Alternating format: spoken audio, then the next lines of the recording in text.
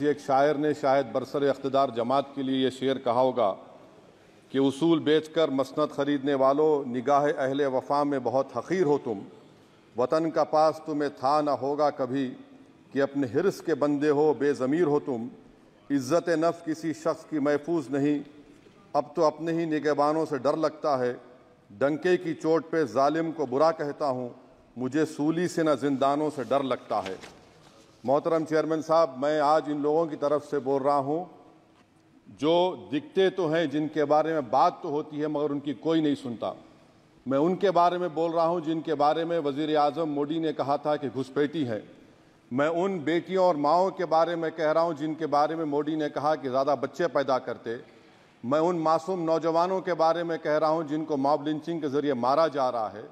मैं उन बेज़ुबान माँ और बाप के बारे में बोल रहा हूँ, जिनकी औलाद आज इस हुकूमत के गलत कानून के चक्कर में जेलों में सड़ रहे हैं। सर, मैं दस्तूर जब इस ऐवान में बन रहा था, संविधान बन रहा था तो उस वक्त अलहदा वोटर लिस्ट और और इंतबी रिजर्वेशन की बात आई।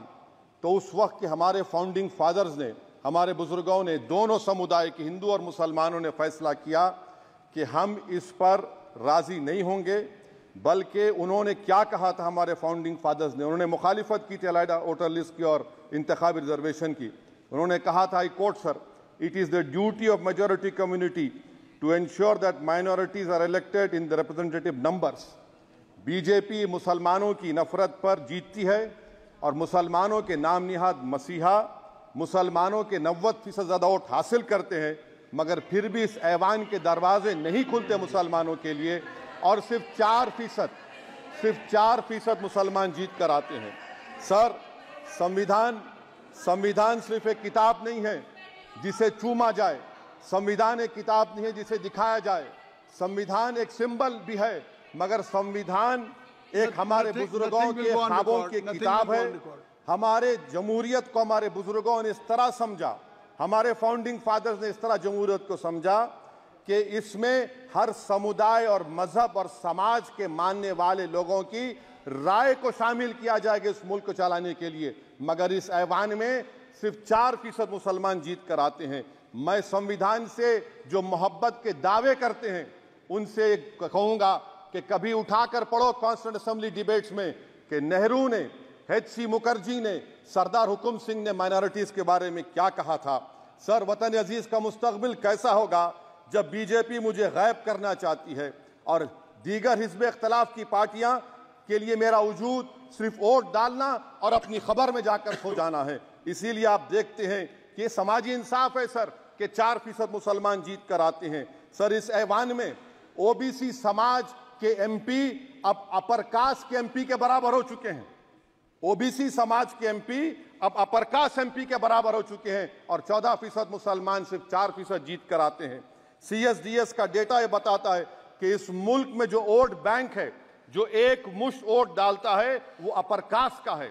मुसलमान का कभी ना वोट बैंक था, ना कभी रहेगा। सर, चार जून के बाद छह मुसलमानों की मॉब लिंचिंग हुई। ग्यारह घरों को मध्य प्रदेश में मोदी के बुलडोजर ने नाबूद कर दिया। हिमाचल प्रदेश में एक मुसलमान के दुकान को लूट लिया गया।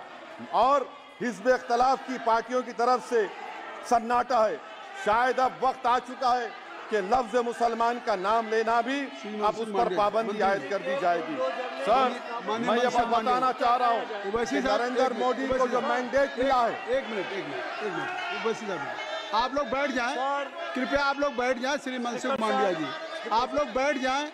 कृपया माननीय सदस्य बैठ जाएँ श्री मनसुख मांडिया जी। मनसुख मांडविया कृपया आप लोग बैठ जाएँ।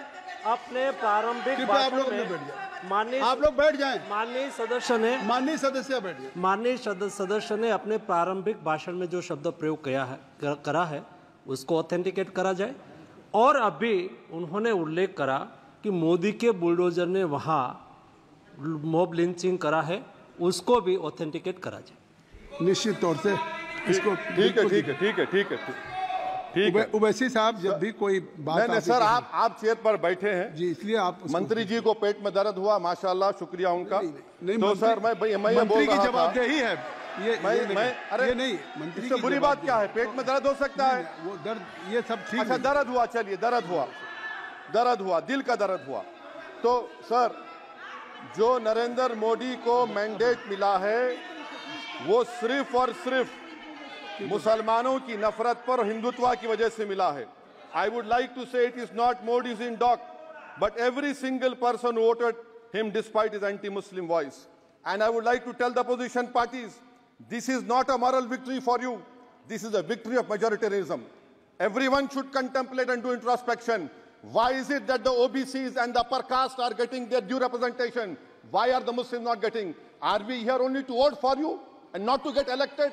If that is the case, please tell us that we are only here to vote for you. Sir, आज भारत के आधे नौजवान आज भारत के आधे नौजवान बेरोजगार हैं और रोज़गार की तालश बेरोजगारी का आलम यह है सर कि मोदी सरकार के पाँच साल में 75 लाख एस्पिरेंट्स की ज़िंदगी बर्बाद हो गई छह पेपर लीक हुआ बेरोजगारी का आलम यह है सर कि रशिया जा रहे हैं वहाँ जाकर अपनी जानों को दे रहे हैं बेरोजगारी का आलम यह है कि नरेंद्र मोदी रोज़गार का कैंप चलाती है। नौजवानों के लिए कि तुम इसराइल में जाकर काम करो उनको कैनन फॉडर बना रही है ताकि फलस्तीनियों की जायदादों को हड़प कर सके। ये भी कंक्लूड कर। मैं अरे सर मेरा टाइम है। कहाँ टाइम है सर आप रो ये टाइम ले लिए मेरा। सर मैं दो मिनट दीजिए। ये विश्वगुरु की पॉलिसी है। इसराइल को 27 टन इसराइल को 27 टन हथियार जा रहा है। नौ मिलियन भारत के लोग गल्फ में काम करते हैं। क्या असर पड़ेगा? सैतालीस सैतालीस हज़ार इसराइली फलस्तीनी मार चुके हैं।